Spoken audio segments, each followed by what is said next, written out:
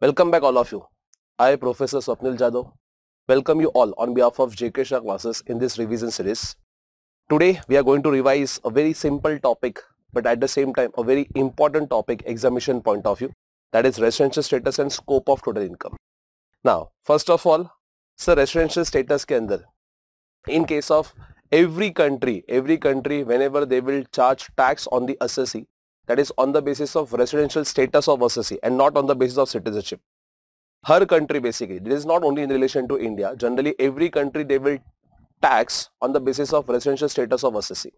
Now, sir either Indian law के हिसाब से अगर बात करो तो आइदर आप रेसिडेंट या तो फिर नॉन रेसिडेंट सर क्या फ़र्क पड़ता है whether you are resident or non resident how does it matter because दोनों के rate of tax slightly different है फिर उसके बाद में दोनों के केसेस में नॉर्मली इनकम जो इनकम जो इंडिया में टैक्सेबल होगी, वो भी अलग है।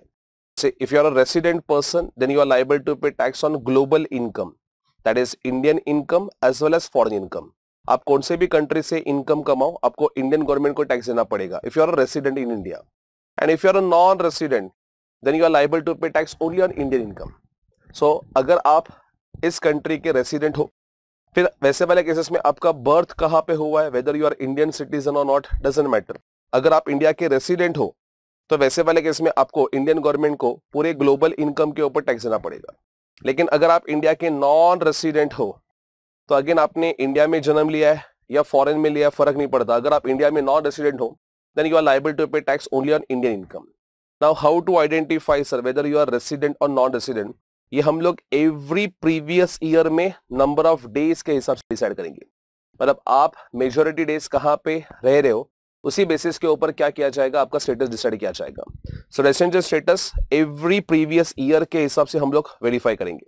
ना इंडिविजुअल की अगर बात करो इंडिविजुअल के केसेस में दो बेसिक कंडीशन है, दोनों में से कोई भी एक बेसिक कंडीशन अगर फुलफिल हुआ then you will be classify as a resident person first condition as you all know he must be in India for 182 days or more during the previous year. If you are in India for 182 days or more during the previous year, in that cases you will be classified as resident. Now, मुझे तो 182 days या उससे ज्यादा अगर नहीं है तो तो वैसे वाले केसेस में गवर्नमेंट हम लोग सेकंड कंडीशन चेक करेंगे सेकंड कंडीशन में we have two sub condition first is previous year में your stay in India should be 60 days और more and last preceding four years में your stay in India should be 365 days और more cumulatively previous year के पिछले के चार साल है। In that last four years your stay should be more than 365 days फिर से बोलता हूँ first condition is 182 days or मोर अगर 182 डेज़ सेटिस्फाई नहीं होता then we will check second वाला कंडीशन सेकंड में we have A and B A condition is 60 days or more during the previous year B condition is 365 days or more during four years preceding previous year previous year के पिछले चार साल का तुम लोग को data check करना है। लेकिन कुछ ऐसे एक्सेप्शन है, जहाँ पे हम लोग ये सेकेंड बेसिक कंडीशन चेक नहीं करेंगे। वहाँ पे सिर्फ़ फ़र्स्ट बेसिक कंडीशन के ऊपर डिसाइड किया जाएगा whether you are resident or non resident means normal cases में ऑब्वियसली हम लोग फ़र्स्ट कंडीशन फुलफिल नहीं हुआ तो सेकंड कंडीशन चेक करेंगे। सर फ़र्स्ट कंडीशन ही फुलफिल हुआ तो फिर सेकंड चेक करने की ज़रूरत ही नहीं है। इन दैट केसेस अगर कुछ ऐसे एक्सेप्शन है, तीन एक्सेप्शन जहाँ पे आपको ये सेकेंड बेसिक कंडीशन वेरीफाई नहीं करना है। सर ऐसे कौन से एक्सेप्शन है? पहला वाला, अगर तुम लोग इंडिया से बाहर जा रहे हो for the purpose of job या employment outside India any Indian citizen leaves India for the purpose of job or employment outside India in that cases सिर्फ़ फ़र्स्ट बेसिक कंडीशन अप्लाई किया जाएगा। मतलब अजूम करो, आप परमानेंटली इंडिया छोड़ के जा रहे हो। तो वैसे वाले केसेस में जिस साल जा रहे हो, उस साल में अगर आपका स्टे 182 डेज़ या उससे ज़्यादा इंडिया में है तो वैसे वाले केसेस में will be classify as resident otherwise straightaway आपको क्या डिक्लेयर किया जाएगा? नॉन रेसिडेंट डिक्लेयर किया जाएगा। मतलब आपको सेकेंड कंडीशन चेक करने की ज़रूरत नहीं है। Similarly second exception is Indian citizen being a crew member of Indian ship leaves India during the previous year देखो इंडियन क्रू मेंबर्स जो होते हैं, जो Indian citizen normally Indian ship के ऊपर काम करते हैं इन दैट केसेस उनको भी the outside India for the purpose of job के हिसाब से जाना पड़ता है। सपोज़ इंडिया से, मुंबई से वेसल जो है शिप जो है, वो सिंगापुर जा रहा है। तो वैसे वाले केसेस में इंटरनेशनल वाटर में ही तुम लोग नॉर्मली ट्रैवल करोगे। इन दैट केसेस आप घूमने नहीं जा रहे हो, आप जॉब के लिए जा रहे हो basically because you are a crew member आप वहाँ पे शिप के ऊपर काम कर रहे हो। In that cases also second basic condition is not applicable third वाला case Indian citizen or person of Indian origin engage outside India इधर आप जॉब के लिए जा रहे हो मतलब जॉब के लिए थे आप बाहर, या तो फिर बिज़नेस कर रहे थे, या कोई भी प्रोफेशन कर रहे थे। अभी इंडिया में विज़िट कर रहे हो during the previous year and आपका इंडियन सोर्सेस से इनकम 15 लाख से ज़्यादा नहीं मतलब आप इंडियन सिटीजन हो, या तो फिर पर्सन ऑफ़ इंडियन ओरिजिन सबसे पहले तो what do mean person of Indian origin sir person of Indian origin मतलब either assessee himself or his parents या तो फिर उसके ग्रैंड पेरेंट्स कहाँ पे बॉर्न होने चाहिए? Undivided India either assessee himself or his parents or his grandparents should be born in undivided India उसको हम लोग क्या बोलेंगे? पर्सन ऑफ़ इंडियन ओरिजिन बोलेंगे। तो अगर आप इंडियन सिटीजन हो या पर्सन ऑफ़ इंडियन ओरिजिन हो आप इंडिया में आ रहे हो किस पर्पज के लिए विज़िट के लिए आ रहे हो और आपका इंडियन सोर्सेस से इनकम 15 लाख के अंदर है तो भी तुम लोग एक्सेप्शन कैटेगरी में होंगे। ना what do mean by Indian sources income ये हम लोग स्कोप ऑफ़ इनकम में अच्छे से डिटेल में डिस्कस करेंगे। इंडियन सोर्सेस मतलब अभी के लिए याद रखना इंडियन सोर्सेस मतलब आइदर इंडियन इनकम होगा या इंडिया से कंट्रोल करने वाला इनकम होगा उसको हम लोग इंडियन सोर्सेस इनकम बोल सकते हैं। सो so, आपका अगर Indian sources income up to 15 lakhs है तो वैसे वाले केसेस में भी आप एक्सेप्शन कैटेगरी हो। एक्सेप्शन कैटेगरी हो मतलब आपको सेकेंड बेसिक कंडीशन चेक नहीं करना सीधा फ़र्स्ट बेसिक कंडीशन के ऊपर डिसाइड किया जाएगा। तो तीन एक्सेप्शन बोले मैंने, यहाँ पे देखो, क्या बोला मैंने तुम लोग सबसे पहले तो बेसिक कंडीशन में फ़र्स्ट कंडीशन इज़ 182 डेज़ या उससे ज़्यादा होना चाहिए ड्यूरिंग प्रीवियस ईयर और 60 days or more during the previous year and 365 days or more during four years preceding previous year but if you are exception category, in that case, second basic condition is not applicable in order to determine residential status of assessee First exception is Indian citizen going outside India for the purpose of job or employment. Second वाला, Indian citizen, या crew members है Indian ship का outside India जा रहा है।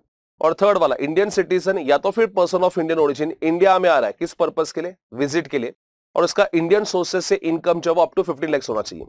ये तीन exception cases में we will not verify second basic condition ठीक है? स्टेट अवे 182 डेज़ या उससे ज़्यादा है तो R otherwise straightaway you'll be consider as what NR now sir R होने के बाद क्या? एनआर हुआ तो वहाँ पे question the end but R हुआ तो वैसे वाले केसेस में क्या? If you are classify as resident then हम लोग फिर से चेक करेंगे whether you are ordinary resident या नॉन ऑर्डिनरी रेसिडेंट तुम लोग इंडिया में ही परमानेंटली सेटल हो या कभी कभी इंडिया में कभी आउटसाइड इंडिया रह रहे हो? ऑर्डिनरी या नॉन ऑर्डिनरी ऑर्डिनरी या नॉन ऑर्डिनरी रेसिडेंट के लिए गवर्नमेंट ने एडिशनल कंडीशन रखा हुआ है। एडिशनल कंडीशन में भी दो कंडीशन है बट दोनों के दोनों कंडीशन आपको फुलफिल करने पड़ेंगे। First condition is during last seven years preceding previous year आपका stay in India seven thirty days या उससे ज़्यादा होना चाहिए। सर ये जो आप स्टे बोल रहे हो sir 365 days or more 730 days or मोर ये कंटिन्यूस स्टे होना चाहिए। आंसर इज़ नो सर कैसे भी तुम लोग का आ जाके तुम लोग का स्टे हो सकता है कंटिन्यूस कॉन्सिक्यूटिव स्टे होना चाहिए, ऐसा कोई ज़रूरी नहीं है। तो लास्ट सेवन ईयर्स में preceding previous year seven thirty days या उससे ज़्यादा आपका स्टे होना चाहिए। And at least two years out of last ten years president previous year आप इंडिया में क्या होना चाहिए? रेसिडेंट होने चाहिए। सर रेसिडेंट मतलब क्या? बेटा रेसिडेंट मतलब वही, हम लोग ऊपर के जो दो बेसिक कंडीशन है, वो अप्लाई करेंगे। मतलब पिछले दस साल में एटलीस्ट टू ईयर्स आप 182 डेज़ या उससे ज़्यादा इंडिया में चाहिए। या तो फिर 60 डेज़ या उससे ज़्यादा एंड पिछले चार साल में 365 डेज़ या उससे ज़्यादा होना चाहिए। मतलब प्रीवियस ईयर के पिछले 10 साल में कोई भी दो साल आप क्या होने चाहिए? रेसिडेंट होने चाहिए। एंड रेसिडेंट कैसे बनते हैं? बाय सेटिस्फाइंग बेसिक कंडीशन मतलब वन और टू में से कोई भी एक basic condition last two years में फुलफिल होना चाहिए। अगर हो रहा है सर ये दोनों कंडीशन फुलफिल हो रहा है then you will be consider as ordinary resident लेकिन अगर दोनों में से कोई एक फुलफिल नहीं हो रहा या दोनों फुलफिल नहीं हो रहा then you will be called as not ordinary resident तो सर, अगर किसी का बेसिक कंडीशन भी फुलफिल हुआ एडिशनल कंडीशन भी फुलफिल हुआ तो वैसे वाले केसेस में स्टेटस क्या होगा? R and O R sir, किसी का बेसिक फुलफिल हुआ है, लेकिन एडिशनल कंडीशन फुलफिल नहीं हुआ तो उसका स्टेटस क्या होगा? R but N O R sir, अगर किसी का बेसिक कंडीशन ही फुलफिल नहीं हुआ तो उसका स्टेटस क्या बनेगा? एन आर ये तुम लोग के तीन कंक्लूजन हो सकते हैं। मतलब एक assessee either R and O R होगा, या तो फिर R and N O R होगा या तो फिर एन आर होगा। आर ओ आर वाले कौन से असेसी रहेंगे? जिन्होंने बेसिक प्लस एडिशनल कंडीशन दोनों फुलफिल किया है। आर एनआर वाले कौन होंगे? जिन्होंने बेसिक तो फुलफिल किया, लेकिन एडिशनल फुलफिल नहीं कर पाए। और एनआर कौन होंगे? जिन्होंने बेसिक कंडीशन ही फुलफिल नहीं किया they'll be called as NR non resident होंगे तुम लोग। फिर उसके बाद में other points first basic condition का एक्सेप्शन तुम लोग को बता दिया था मैंने। इंडियन ओरिजिन मतलब क्या होता है, वो भी तुम लोग ने डिस्कस किया। Amendment made by finance act 2020 दो अमेंडमेंट आए थे यहाँ पे। सबसे पहले तो यहाँ पे नॉर्मली अमेंडमेंट मैंने ऑलरेडी ये थर्ड कंडीशन में इनकॉर्पोरेट किया। थर्ड एक्सेप्शन क्या था अपना? इंडियन सिटीजन और person of Indian origin India में आना चाहिए for the purpose of visit और इसकी इंडियन सोर्सेस से इनकम 15 लैक्स तक ही होनी चाहिए। ऐसा पहले 15 लैक्स का ऐसा कोई कंडीशन नहीं था 2020 के पहले। बट फाइनेंस एक्ट 2020 में अमेंडमेंट लाया और बोला कि अगर मोर देन 15 लाख इनकम है मोर देन 15 लाख इनकम है इंडियन सिटीजन और पर्सन ऑफ़ इंडियन ओरिजिन की और अगर वो इंडिया में विज़िट के नाम से आ रहा है तो वैसे वाले केसेस में हम लोग उनको सेकेंड कंडीशन भी अप्लाई करेंगे। फाइनेंस एट ट्वेंटी के पहले ऐसा कोई 15 लाख का कंडीशन था ही नहीं तो हम लोग क्या चेक करते थे? इंडियन सिटीजन और person of Indian origin coming to India for the purpose of visit state away 182 days अगर है तो आर अदरवाइज़ एन आर लेकिन बाद में फाइनेंस एट ट्वेंटी में एक मॉनिटरी लिमिट डाला गया। बोला कि इंडियन सिटीजन और person of Indian origin visit के लिए आ रहा है और उसके इंडियन सोर्सेस की इनकम मोर देन 15 लैक्स है। तो वैसे वाले केसेस में उसको सेकेंड बेसिक कंडीशन भी अप्लाई किया जाएगा। लेकिन 60 डेज़ के जगह पे यहाँ पे टाइम लिमिट 120 डेज़ किया गया है। मतलब 120 डेज़ या उससे ज़्यादा अगर आप इंडिया में हो एंड लास्ट फोर इयर्स में 365 डेज़ या उससे ज़्यादा हो तो वैसे वाले केस में आप क्या हो जाओगे? आर अदरवाइज़ आप क्या हो गए एनआर ये अमेंडमेंट जो है वो किसके लिए एप्लीकेबल होगा? सिर्फ़ third exception that is Indian citizen और पर्सन ऑफ़ इंडियन ओरिजिन जो इंडिया में आ रहे हैं, किस पर्पज के लिए विज़िट और उनकी इंडियन सोर्सेज से इनकम जो है that is more than 15 lakhs है तो ये अमेंडमेंट एप्लीकेबल होगा।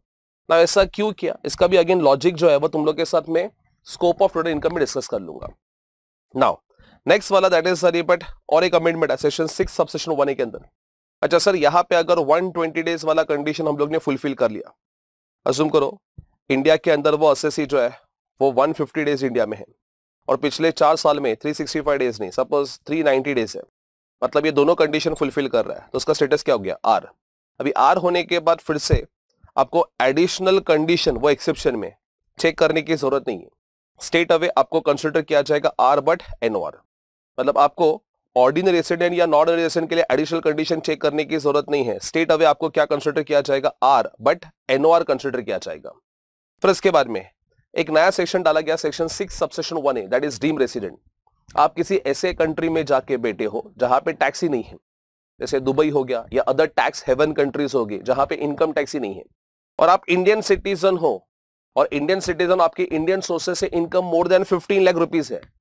तो गवर्नमेंट क्या बोलते हैं, अगर इनकम मोर देन 15 लैक्स है, और आप ऐसे कंट्री में जाके बैठे हो, जहाँ पे टैक्स ही पे नहीं कर रहे हो तो आपको इंडियन गवर्नमेंट को टैक्स देना पड़ेगा। मतलब इन शॉर्ट इवन दो आप इंडिया में आए भी नहीं फ़र्क ही नहीं पड़ता, फिर भी आपको इंडिया का क्या मान लिया जाएगा? डीम रेसिडेंट कंसिडर किया जाएगा। Even though you have not visited India for a single day then too you'll be consider as deem resident under section six subsection one A but this amendment is applicable only if you are a Indian citizen your Indian sources का income is more than fifteen lakhs and you are staying in a country where you are not paying any tax to such foreign country Maybe because of domicile or maybe because of concession given by foreign government, you are not paying tax to such foreign country. Only in that cases this deemed resident वाला concept is applicable. अच्छा यहाँ पे sir वो days भी देखना नहीं है answer is नहीं। स्टेट अवे तुझे क्या कंसिडर किया जाएगा रेसिडेंट सर अभी रेसिडेंट मान लिया क्या रेसिडेंट के बाद हम लोग को वो ऑर्डिनरी नॉट ऑर्डिनरी वो भी सब चेक करना है आंसर इज़ नो गवर्नमेंट बोलते हैं सिर्फ़ और सिर्फ़ आपको डायरेक्टली तुम लोगों को क्या कंसिडर किया जाएगा आर बट एनओआर आपको ऑर्डिनरी रेसिडेंट कंसिडर नहीं किया जाएगा। मतलब एडिशनल कंडीशन नहीं है। स्टेट अवे तुम लोग को एनओआर कंसिडर किया जाएगा। मतलब ये दो अमेंडमेंट जो आए थे फाइनेंस एक्ट 2020 में, जहाँ पे दोनों भी केसेस में स्टेट अवे असेसी को क्या कंसिडर किया जाएगा? आर बट एनओआर फिर इंडियन क्रू मेंबर्स अगर बात करूँ, सर इंडियन क्रू मेंबर्स जो है इंडियन क्रू मेंबर्स जो इंडियन शिप में आउटसाइड इंडिया जा रहे हैं तो सर इंडियन क्रू मेंबर्स अगर आउटसाइड इंडिया इंडिया के बाहर वेसल में जा रहे हैं तो सर सपोज़ नॉर्मली उन लोग ने ज्वाइनिंग किया था वेसल में अजूम करो 15 मई को। फिर उसके बाद में इंडियन वाटर में ही वेसल घूमती रही। अजूम करो इंडियन वाटर में वेसल था ट्वेंटी ऑफ़ जून तक। उसके बाद में इंटरनेशनल वाटर में एंटर किया। फिर उसके बाद में रिटर्न आ रही है। रिटर्न आने तुम लोग को नॉर्मली अजूम करो ट्वेंटी अक्टूबर ट्वेंटी अक्टूबर को इंडियन वाटर में तुम लोग ने एंटर किया। फिर उसके बाद में ड्यूटी डिस्चार्ज जो किया है, वो तुम लोग ने थर्टी अक्टूबर को किया है। मतलब इन शॉर्ट क्रू मेंबर्स के केसेस में सर क्या हम लोग वो पानी के अंदर चेक करते रहेंगे? कितना दिन इंडिया में, कितना दिन बाहर? वो सब वेरीफाई करते रहेंगे। तो गवर्नमेंट बोलते नहीं, इतना सब टेक्निकल करने की ज़रूरत नहीं है। इनके केसेस में सिंपल रखा हुआ है। बोला कि, सर, पहले तो जिस दिन आपने वेसल के ऊपर ज्वाइनिंग किया और जिस दिन आने के बाद आपका ड्यूटी डिस्चार्ज सर्टिफिकेट मिला है, इसके लिए आपको जो भी एक कंटिन्यूस डिस्चार्ज सर्टिफिकेट मिलेगा। कंटिन्यूस डिस्चार्ज सर्टिफिकेट में जितना भी स्टे है आपका मतलब कितने दिन के लिए आप वेसल के ऊपर काम करते? जिस दिन आपने ज्वाइनिंग किया और आने के बाद तुम लोग का ड्यूटी डिस्चार्ज हुआ रहेगा। तो जितना भी दिन बेसिकली आपको वो सर्टिफिकेट मिला है कंटिन्यू डिस्चार्ज सर्टिफिकेट वाला, उतना पीरियड जो है वो हम लोग आउटसाइड इंडिया मान लेंगे। तो बाकी का पीरियड जो है वो बाय डिफ़ॉल्ट इन इंडिया हो जाएगा। मतलब आपको क्या करना है क्रू मेंबर्स के केसेस में सबसे पहले तो नॉर्मली उनको जो कंटिन्यूस डिस्चार्ज सर्टिफिकेट मिला रहेगा, जिस दिन उन्होंने ज्वाइनिंग किया, वहाँ से लेके basically date of discharge of duty तक, उनको जितने भी नंबर ऑफ़ डेज़ रहेंगे वो टोटल नंबर ऑफ़ डेज़ आपको क्या करने एक्सक्लूड करने while computing number of days से इन इंडिया अगर आप उतने एक्सक्लूड कर दोगे तो आपको बाय डिफ़ॉल्ट क्या बन जाएँगे? नंबर ऑफ़ डेज़ से इन इंडिया मिल जाएँगे। उसके बेसिस के ऊपर डिसाइड करना 182 डेज़ या उससे ज़्यादा है तो आर अदरवाइज़ वो क्या कंसिडर किया जाएगा? एनआर मतलब कैलकुलेशन कंपेरेटिवली इजी किया है। इतना टेक्निकल कैलकुलेशन करने की ज़रूरत नहीं है। फिर next that is arable residential status of H F की अगर बात करो तो एच के केसेस में अगर control and management of HF अगर बिज़नेस जो कंट्रोल एंड मैनेजमेंट हो रहा है एचएफ का, अगर वो होली या पार्टली इंडिया से हो रहा है देन एच का स्टेटस होगा रेसिडेंट और अगर होली आउटसाइड इंडिया हो रहा है wholly outside India then H का स्टेटस होगा एनआर होली और पार्टली इंडिया से हो रहा है तो एचएफ का स्टेटस होगा रेसिडेंट एंड होली अगर आउटसाइड इंडिया है तो एचएफ का स्टेटस होगा एनआर फिर इसके बाद में रेसिडेंट बनने के बाद सर ओ आर कैसे चेक किया जाएगा? एचएफ के केसेस में who is a important person karta तो कर्ता का स्टेटस चेक किया जाएगा। अगर karta both the additional condition that is seven thirty days वाली और वो टू ईयर्स रेसिडेंट वाली, दोनों कंडीशन अगर कर्ता फुलफिल करता है तो वैसे वाले केसेस में एचएफ का स्टेटस बन जाएगा O R and if karta fail to satisfy any of the additional condition then H का स्टेटस होगा एनआर तो पहले तो आर या एनआर के लिए एचएफ का कंट्रोल एंड मैनेजमेंट वेरीफाई किया जाएगा। If control and management wholly और पार्टली इन इंडिया है तो रेसिडेंट अदरवाइज़ क्या हो जाएगा? नॉन रेसिडेंट नॉन रेसिडेंट तो वहाँ भी क्वेश्चन दिए। लेकिन अगर सर रेसिडेंट है तो ओ आर एनओआर के लिए कर्ता का स्टेटस चेक किया जाएगा। If karta satisfy both the additional condition then H F का status is O R otherwise क्या बन जाएगा? N NOR then partnership firm AOP BOI इनके केसेस में कैसे चेक किया जाएगा? इनके केसेस में देखा जाएगा control and management again same कहाँ पे हो रहा है? होली और पार्टली इंडिया में है तो आर अदरवाइज़ क्या होगा? एनआर अच्छा इनके केसेस में फर्दर क्लासिफिकेशन नहीं है ओ आर एनआर का। सर, ऐसा क्यों? ओ आर एनआर का क्लासिफिकेशन सिर्फ़ हम लोग इंडिविजुअल एंड एचएफ में करते हैं। सी इंडिविजुअल में that is possible because individual में नंबर ऑफ़ डेज़ के बेसिस के ऊपर किया जा रहा है। एच के केसेस में एक ही इंपॉर्टेंट पर्सन है दैट इज़ करता। उसके स्टेटस के हिसाब से ओ आर एनओ का क्लासिफिकेशन होता है। लेकिन पार्टनरशिप फॉर्म के अंदर कहना से मोर देन वन पार्टनर्स होंगे? तो वैसे वाले केसेस में पार्टनरशिप फर्म एओपी वहाँ पे तो मोर देन वन मेंबर्स या पार्टनर्स रहेंगे। सारे लोग इंपॉर्टेंट भी हो सकते हैं। तो उनके डेज़ के हिसाब से कैसे कैलकुलेशन करोगे? बिकॉज़ मे बी हर पार्टनर का number of days stay in India में भी अलग अलग हो सकता है। इस रीजन के वजह गवर्नमेंट बोला फर्म और एओपी में हम लोग ओ आर एनओआर चेक ही नहीं करेंगे। आइदर आर होगा या तो फिर एनआर होगा। मतलब कंक्लूजन क्या हुआ? ओ आर एंड एनओआर का classification is applicable only for individual and H F rest all other person के डेफिनेशन में जितने भी पर्सन है, उनका आइदर आर होगा या तो फिर एनआर होगा। ओ आर एनआर का क्लासिफिकेशन करने की ज़रूरत नहीं है। नेक्स्ट वाला कंपनी की अगर बात करूँगा इस कंपनी के केसेस में अगर इंडियन कंपनी की बात करूँ इंडियन कंपनी मतलब जो कंपनी इंडियन कंपनीज़ एक्ट में रजिस्टर्ड है, उसका स्टेटस तो ऑलवेज रेसिडेंट होगा। आप कहाँ से भी बिज़नेस ऑपरेट करो, कहाँ पे भी इनकम कमाओ, फ़र्क नहीं पड़ता। इंडियन कंपनीज़ एक्ट में अगर आप रजिस्टर्ड हो तो आप इंडियन कंपनी हो। You will be always called as resident in India लेकिन फॉरेन कंपनी है। मतलब आपने कंपनी रजिस्टर्ड कहाँ पे करवाई है? फॉरेन में करवाई है। जैसे आपने कंपनी जो है, वो रजिस्टर्ड करवाई अजूम करो मॉरिशस या अदर कंट्री में, जहाँ पे टैक्सी नहीं है।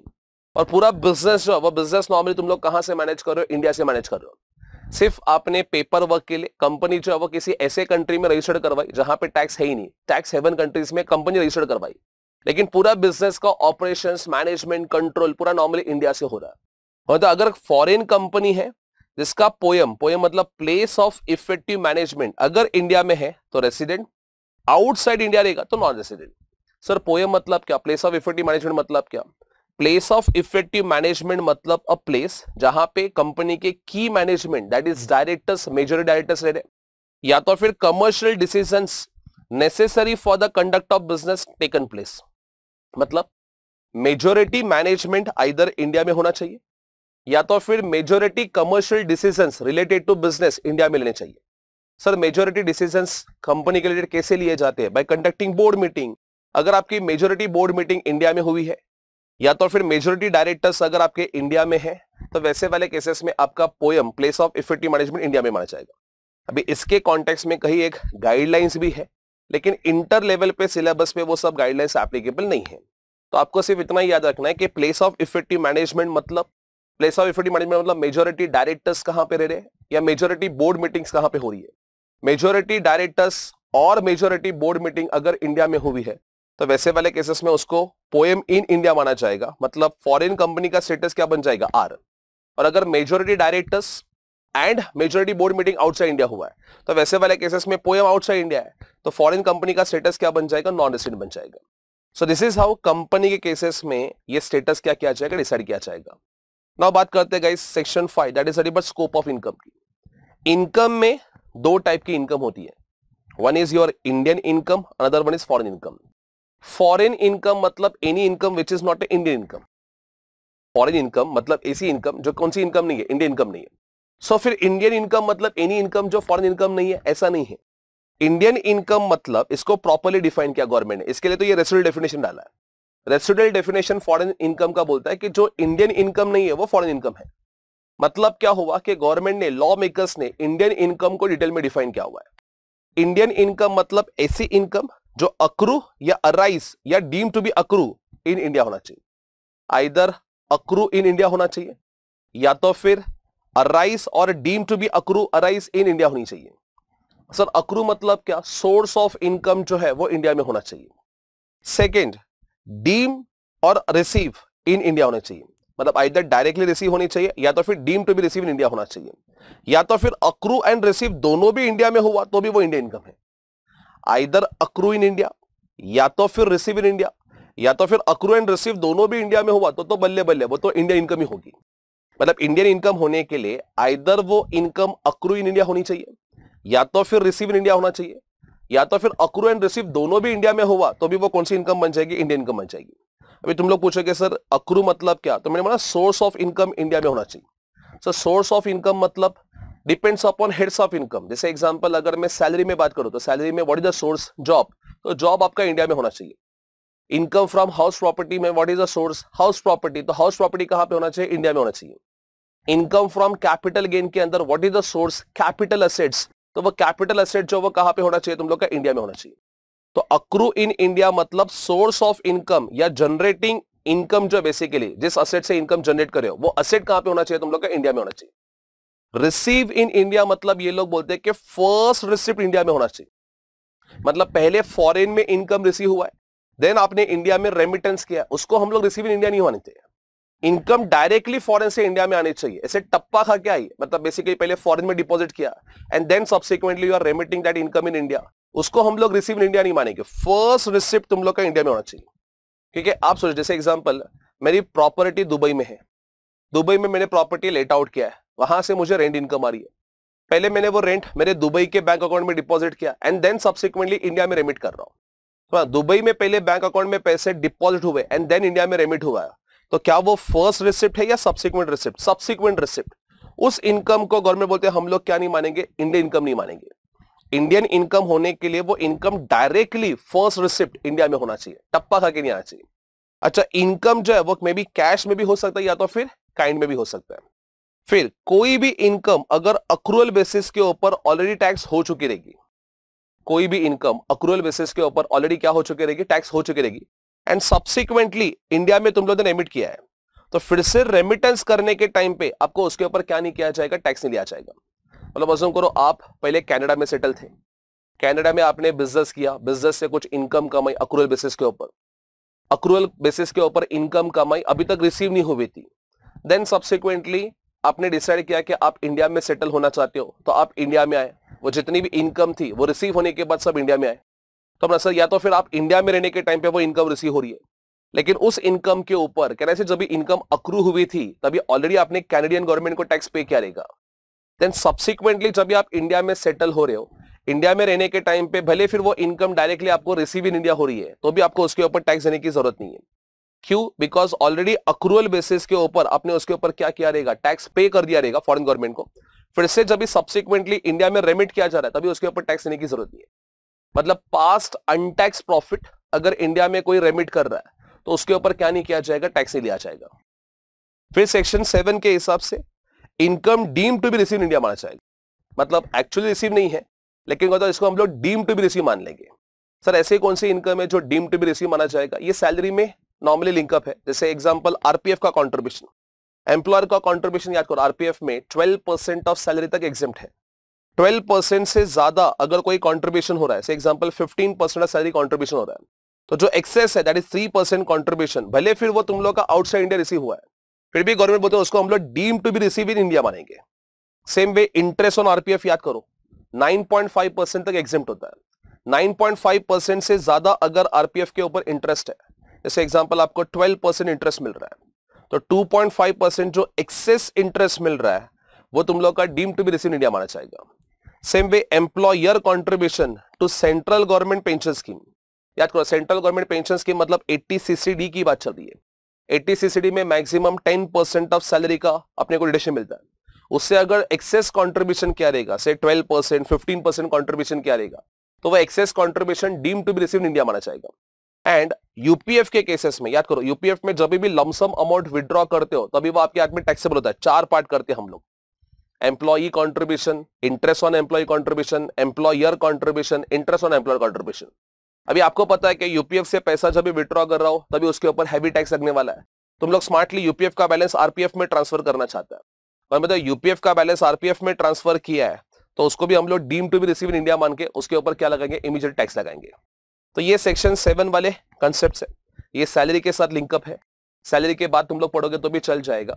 मतलब यहाँ पे खाली गवर्नमेंट ने बोला इसको हम लोग क्या मानेंगे? Deem to be receive in India मानेंगे। मतलब उसके ऊपर टैक्स देने के लिए और कुछ नहीं। Next section nine that is income deem to accrue और अराइज इन इंडिया जैसे deem to receive in India section seven में डिफाइन है, वैसे same way deem to accrue और arise in India section nine में डिफाइन किया है। अभी इंडियन गवर्नमेंट किसी भी इंडियन सिटीजन को सैलरी पे कर रहा है। हमारा इंडियन गवर्नमेंट किसी भी इंडियन सिटीजन को सैलरी पे कर रहा है, जो आउटसाइड इंडिया उसका पोस्टिंग हुआ है। तो आउटसाइड इंडिया सैलरी मिल रहा है तो दैट इज़ टैक्सेबल है इंडिया के अंदर। सर लेकिन यहाँ पे ना अक्रू इन इंडिया ना रिसीव इन इंडिया अरे पेयर जो है, वो इंडियन गवर्नमेंट है।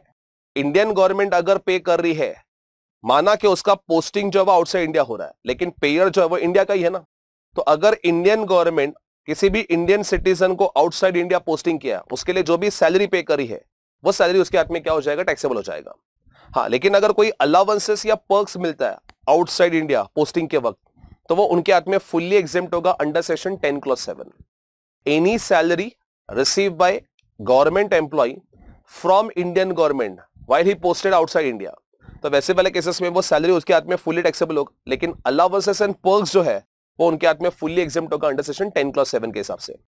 फिर एनी पर्सन गवर्नमेंट नहीं है एनी पर्सन है, जो सैलरी पे कर रहा है, किसको? एनी पर्सन जैसे foreign company foreign company Indian employees को या उसके फॉरेन एम्प्लॉय को सैलरी पे करिए किस चीज़ के लिए सैलरी पे करिए for the services rendered in India government बोलते अगर सर्विसेज़ रेंडर्ड इन इंडिया है तो वो income deem to be accrue arise in India है।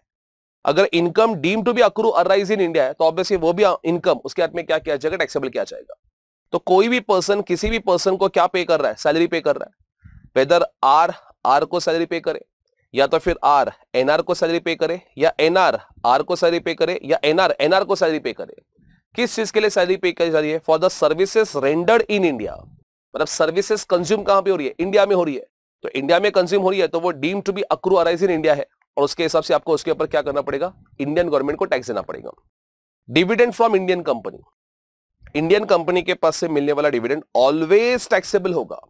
वेदर वो पेड इन इंडिया तो भी टैक्सेबल अगर कंपनी स्मार्टनेस दिखा रही है, वो कंपनी बेसिकली डिविडेंड जो आपके फॉरेन अकाउंट में ट्रांसफ़र कर रही है तो भी वो deem to accrue arise in India मान के उसके ऊपर टैक्स दिया जाएगा। So dividend from Indian company मिल रहा है वेदर वो रिसीव इन इंडिया हो या आउटसाइड इंडिया हो, वो ऑलवेज आपके हाथ में क्या किया जाएगा टैक्सेबल किया जाएगा। फिर इनकम फ्रॉम प्रॉपर्टी और असेट सिचुएटेड इन इंडिया जैसे किसी एनआर ने इंडिया में इन्वेस्टमेंट किया है एनआर में इधर शेयर्स में इन्वेस्टमेंट किया है या हाउस प्रॉपर्टी में इन्वेस्टमेंट किया है तो उससे जो भी इनकम अराइज होगी, भले फिर वो इनकम तुम लोग आउटसाइड इंडिया ये कर दो या तो फिर जो प्रॉपर्टी लिया, वो प्रॉपर्टी का एग्रीमेंट आपने आउटसाइड इंडिया बनाया। लेकिन इनका असेट जो है, वो असेट कहाँ की है? इंडिया की है। और मतलब अगर असेट या प्रॉपर्टी इंडिया में है तो वैसे वाले केसेस में भरे भी उसकी प्रॉपर्टी की डील आउटसाइड इंडिया है कंसिडरेशन आउटसाइड इंडिया हुआ है, फिर भी उसको deem to be accrue arise in India मान के, उसके ऊपर आपको इंडियन गवर्नमेंट को क्या करना पड़ेगा? टैक्स देना पड़ेगा। फिर तीन income interest income royalty income and FTS मतलब फॉरेन टेक्निकल सर्विसेज़ ये तीनों का नेचर थोड़ा बहुत बोलते ना मतलब ट्रीटमेंट जो है वो सेम है। तो एक को अच्छे समझना, बाकी के दो बाई डिफ़ॉल्ट समझ में आ जाएँगे। इंडियन गवर्नमेंट किसी भी एनआर या फॉरेन कंपनी को क्या कर रही है? इंटरेस्ट पे कर रही है। मतलब इंडियन गवर्नमेंट ने क्या किया है? किसी भी फॉरेन कंपनी या नॉन रेसिडेंट के पास से लोन लिया है। और लोन के ऊपर इंडियन गवर्नमेंट क्या पे कर रही है? इंटरेस्ट पे कर रही है। अभी ये इंटरेस्ट कहने से गवर्नमेंट के लिए एक्सपेंसेस है, लेकिन ये नॉन रेसिडेंट के लिए तो इनकम है। इनकम है मतलब वो इनकम के ऊपर उसको गवर्नमेंट को क्या करना पड़ेगा टैक्स देना पड़ेगा। नॉन रेसिडेंट या फॉरेन कंपनी जिनको इन लोग के पास से इंटरेस्ट मिल रहा है, वो इंटरेस्ट इनकम के ऊपर deem to be accrue arise in India मान के उनको क्या करना पड़ेगा टैक्स देना पड़ेगा। अच्छा सर किसी रेसिडेंट पर्सन ने, किसी भी रेसिडेंट पर्सन ने फॉरेन कंपनी के पास से लोन लिया है, और वो लोन जो है वो इंडिया के बिज़नेस के लिए यूज़ किया है।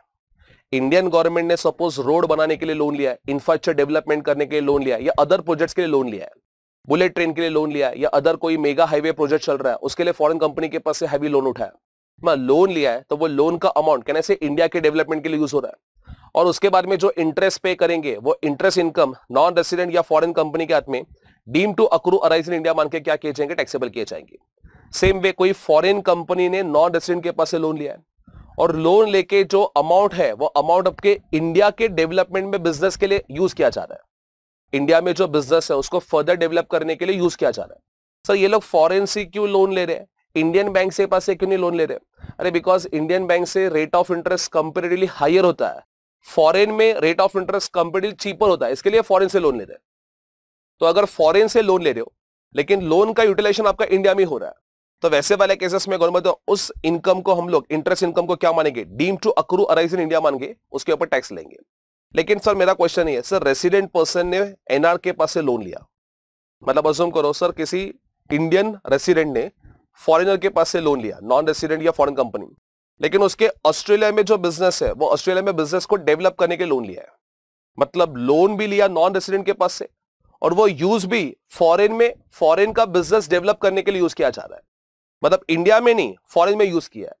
तो इसके ऊपर इंडियन गवर्नमेंट टैक्स लेगी या Australian government definitely Australian government because normally accrue भी आउटसाइड इंडिया रिसीव भी आउटसाइड इंडिया हो रहा है तुम लोग वैसे वाले केसेस में गवर्नमेंट फिर हम लोग उसको इनकम के अंदर बेसिकली टैक्सेबल नहीं करेंगे।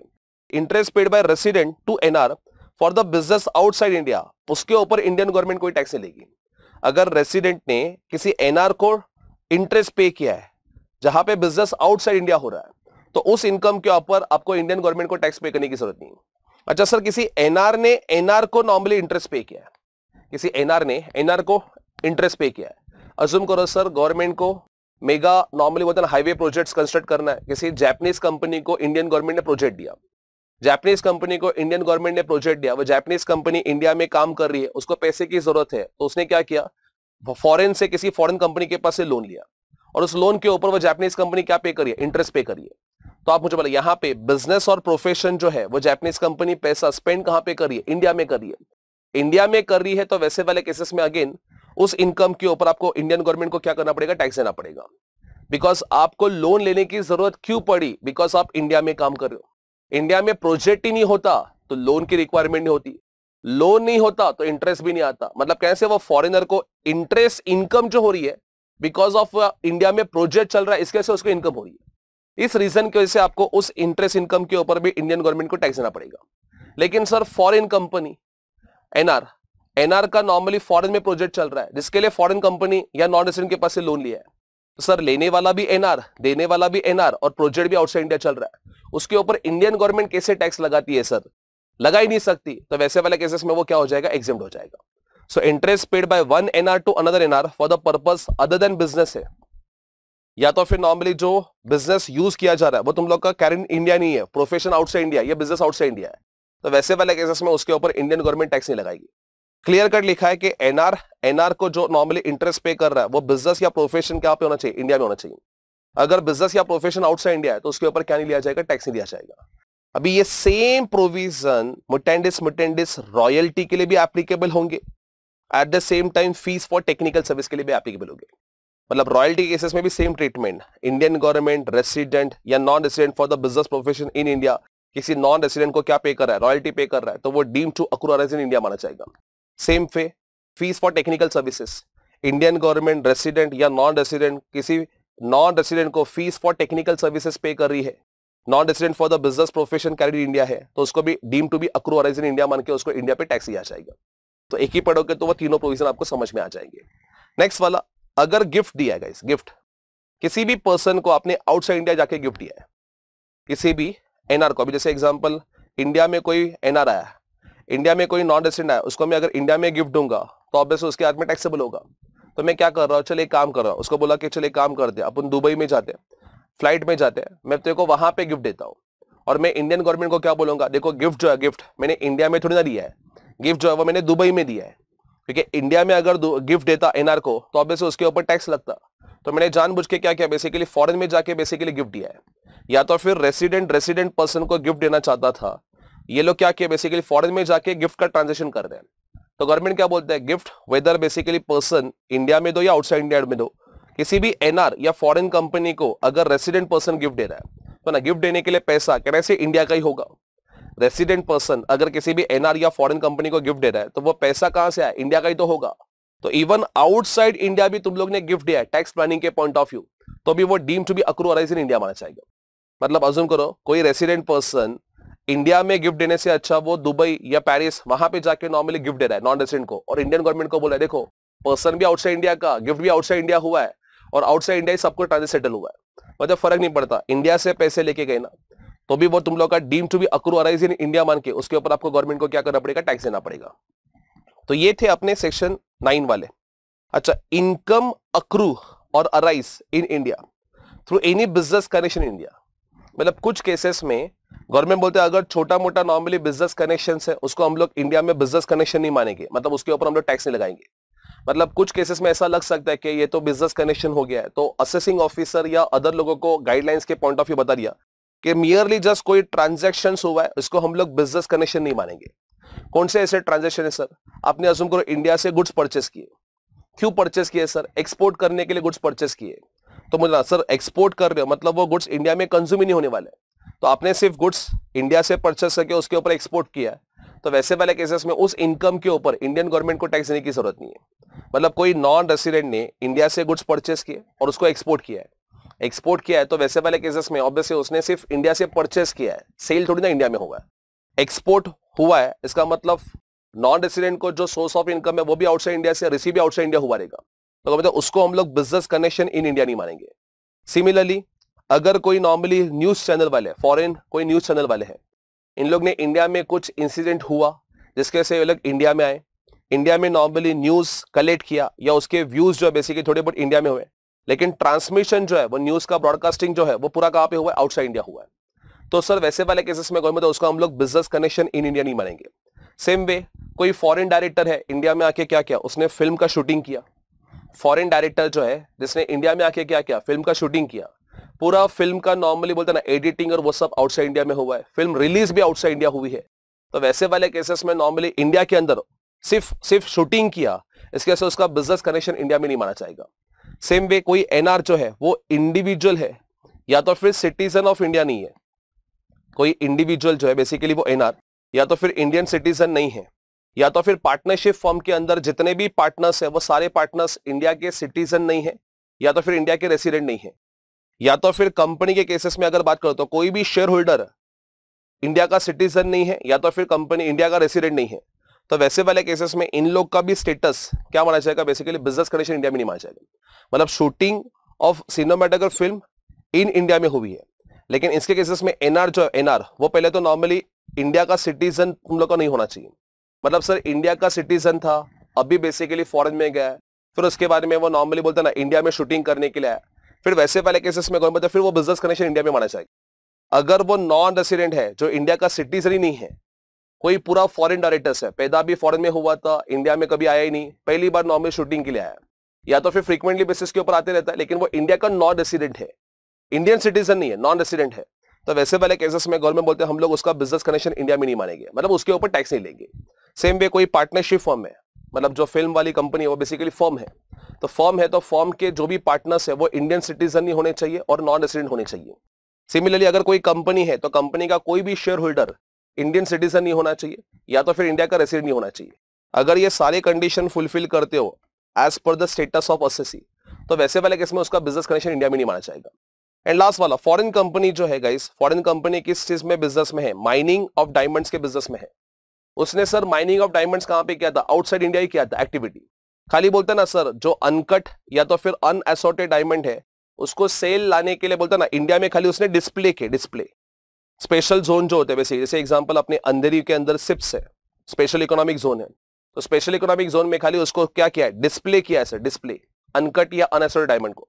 फॉरेन कंपनी जो माइनिंग ऑफ़ डायमंड एक्टिविटीज़ में है, उसने सिर्फ़ और सिर्फ़ क्या किया है? डिस्प्ले किया है अनकट और अनएसोर्टेड डायमंड तो सिर्फ़ डिस्प्ले के बेसिस के ऊपर उसका बिज़नेस कनेक्शन इंडिया में नहीं मानेंगे।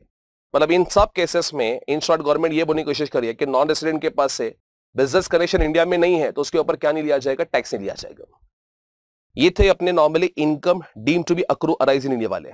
तो मुझे फिर से बोलता सेशन सिक्स सब सेशन वन था रेसिडेंशियल स्टेटस ऑफ़ इंडिविजुअल था। फिर उसके बाद में हम लोग ने एचएफ का पढ़ा था सिक्स टू फिर उसके बाद में नॉर्मली हम लोग ने एओपी पार्टनरशिप फॉर्म का पढ़ा था, उसके बाद में हम लोग ने कंपनी का पढ़ा था। उसके बाद में नेक्स्ट हम लोग ने स्कोप ऑफ़ इनकम पढ़ा गई स्कोप ऑफ़ इनकम के अंदर सेक्शन फाइव के अंदर डिफाइन किया Indian income and foreign income उसके अंदर सेक्शन सेवन जो है सेवन ये बोलता है बेसिकली इनकम जो है वो तुम लोग का deem to be receive India माना जाएगा। वो सैलरी वाले केसेस फिर सेक्शन नाइन जो है सेक्शन नाइन ये बोलता है कि income deem to be accrue arise in India माना जाएगा कुछ एक्सेप्शनल केसेस में। जैसे वो रॉयल्टी वाला एग्ज़ाम्पल हो गया फ़ीस फॉर टेक्निकल सर्विसेज़ हो गया, या तो फिर नॉर्मली अपना अदर वाले हो गए दैट इज़ गिफ्ट वाला एग्ज़ाम्पल हो गया, वो सब income deem to be accrue arise in India माना जाएगा। ना ये सब करने के बाद जहाँ पे अपना क्वेश्चन आते गाइस मतलब टैक्सेबिलिटी अगर बात करो तो R O R R N O R N R अभी यहाँ पे क्लासिफिकेशन थोड़ा अच्छे से समझो। R O R N O R and N R है। इंडियन इनकम है, वो हर किसी के हाथ में टैक्सेबल होगी। इसे समझने की कोशिश करो बेटा इंडियन इनकम जो होगा, वो Indian income either accrue in India होगा, या तो फिर रिसीव इन इंडिया या तो फिर अक्रू और रिसीव इन इंडिया है। तो इंडियन इनकम के ऊपर तो हर असेसी को क्या करना पड़ेगा? टैक्स देना ही पड़ेगा। इंडियन गवर्नमेंट कैसे इंडियन इनकम के ऊपर टैक्स छोड़ सकती है? So whether you R O R N R और एन आर इंडियन इनकम सबके हाथ में टैक्सेबल होगी। Now foreign income foreign income में ये देखो कि फॉरेन इनकम में बिज़नेस में कंट्रोल एंड मैनेजमेंट कहाँ से हो रहा है? अगर कंट्रोल एंड मैनेजमेंट इंडिया से हो रहा है तो वैसे वाले केसेस में ओआर एंड एनओआर को टैक्सेबल होगा। एनआर को टैक्स देने की ज़रूरत नहीं है बिकॉज़ एनआर के हाथ में सिर्फ़ वो सिर्फ़ इंडियन इनकम टैक्सेबल होती है फॉरेन इनकम टैक्सेबल नहीं होती। तो सर बिज़नेस है तो बिज़नेस के केसेस में ये चेक करो कि उसका कंट्रोल एंड मैनेजमेंट कहाँ पे हो रहा है। कंट्रोल एंड मैनेजमेंट अगर इंडिया से हो रहा है तो वैसे वाले केसेस में ओ आर एन आर दोनों को टैक्स देना पड़ेगा।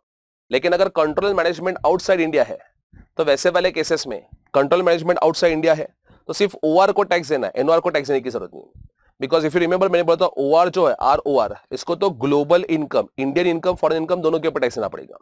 तो तुम लोग ऐसे याद रखो आर ओ आर है तो देखना ही नहीं है, सब कुछ इनकम टैक्सेबल होगा। एनओआर है तो इंडियन इनकम टैक्सेबल होगा। और फॉरेन में बिज़नेस है, जिसका कंट्रोल एंड मैनेजमेंट इंडिया से हो रहा है, वो इनकम टैक्सेबल होगा। मतलब सर बिज़नेस भी फॉरेन में कंट्रोल मैनेजमेंट भी फॉरेन में तो वो एनआर को टैक्सेबल करने की ज़रूरत नहीं है। और एनआर को सिर्फ़ और सिर्फ़ इंडियन इनकम के ऊपर टैक्स देना है।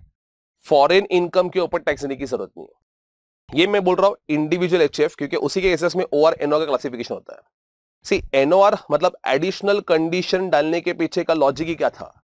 एडिशनल कंडीशन गवर्नमेंट ने इस रीजन के से डाला so that government business foreign में है लेकिन जिसका कंट्रोल इंडिया से हो रहा है, उस इनकम के ऊपर टैक्स ले सके। अदरवाइज़ सिर्फ़ ओ आर एंड एनआर वाली कैटेगरी रखती है। आर एन ये रखते ही नहीं। तो वैसे वाले केसेस में बहुत सारे लोग क्या करते हैं बिज़नेस रजिस्टर्ड फॉरेन में करवाते लेकिन उसका कंट्रोल मैनेजमेंट इंडिया से करवाते अभी मुझे बना बिज़नेस फॉरेन में है कंट्रोल मैनेजमेंट नॉर्मली इंडिया से हो रहा है, और आप इंडिया में आ ही नहीं रहे हो। तो आप इंडिया क्या बन गए? एनआर एनआर बन के मतलब ऑब्वियसली उसके ऊपर इंडियन गवर्नमेंट को क्या नहीं मिल रहा है? टैक्स ही नहीं मिल रहा है।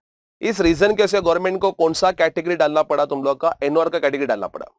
मतलब ओ आर एनओआर डालने की वजह से अभी इवन बिज़नेस आउटसाइड इंडिया है, लेकिन कंट्रोल मैनेजमेंट इंडिया में हो रहा है। एटलीस्ट उस इनकम के ऊपर इंडियन गवर्नमेंट टैक्स ले सकती है। लेकिन अब फाइनेंस एक्ट ट्वेंटी वाले अमेंडमेंट अगर मैं लॉजिक इसका डिस्कस करूँ, ये क्यों लाने पड़े? फाइनेंस एक्ट ट्वेंटी में जो अमेंडमेंट हुए थे। अभी जैसे एग्ज़ाम्पल कोई इंडियन सिटीजन है, ठीक है मिस्टर ए ये इंडिया में अजूम करो हार्डली वन थर्टी डेज़ आ रहा है इंडिया में। वन थर्टी डेज़ इंडिया में। उसकी इंडियन इनकम एट लैक्स है। और फॉरेन इनकम लेकिन जिसका कंट्रोल या तो फिर मैनेजमेंट कंट्रोल या तो फिर मैनेजमेंट इंडिया से हो रहा है। कंट्रोल या मैनेजमेंट इंडिया से हो रहा है। ऐसी वाली इनकम दस लाख है। और दूसरी फॉरेन इनकम ये दस लाख है। मतलब ऐसे मिलकर total twenty eight lakh rupees income है। अब ना, आठ लाख रुपया इंडियन इनकम फॉरेन इनकम जिसका कंट्रोल या तो फिर मैनेजमेंट इंडिया में ऐसी वाली इनकम दस लाख है और फॉरेन इनकम दस लाख है।